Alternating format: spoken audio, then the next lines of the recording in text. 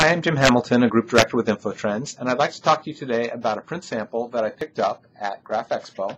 This is a publication that Mohawk makes called the Mohawk Maker uh, Quarterly, and this happens to be issue number six. And I, I find these particularly interesting and educational and, and fascinating work and, and uh, uh, very nicely done by the folks at Mohawk.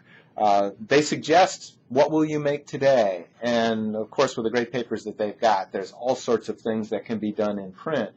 But they make some really important points, I think, that are sometimes overlooked. So things like, you know, what is ephemeral, and as our computers crash and files get corrupted, printed matter endures, and certainly it does. And this is a wonderful example, beautifully designed, all sorts of interesting articles. It includes actually inside it in a section that's dedicated to uh, foil stamping, engraving, embossing, uh, letterpress.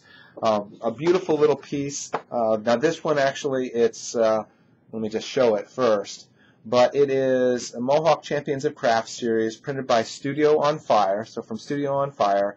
And this was printed on Mohawk Options Vellum 100% PC white 130 DTC. And given that it's a discussion here in the piece about foil stamping and engraving, embossing, and letterpress, when you look at the back, and I don't know how well you'll be able to see this on the video, probably not. Maybe, a, yeah, actually, you can see a little bit of the impression coming through here to give that a little bit of an embossed feel.